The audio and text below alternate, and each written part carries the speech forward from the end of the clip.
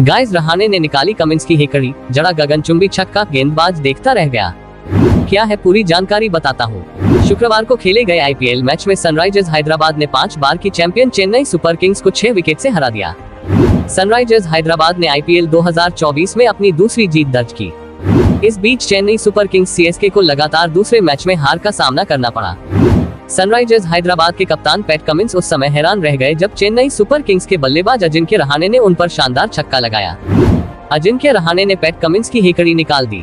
Chennai super Kings की पारी के पाँचवें ओवर में सनराइजर्स हैदराबाद के कप्तान पैट कमिंस गेंदबाजी के लिए आए। पैट कमिंस ने इस ओवर की दूसरी गेंद लेंथ डाल दी। अजिंक्य रहाणे ने इस गेंद पर ऐसा ज़बरदस्त छक्का जड़ दिया कि बॉल आसमान को चीरते हुए स्टेडियम के दूसरे टियर में दर्शकों के बीच में जा गिरी।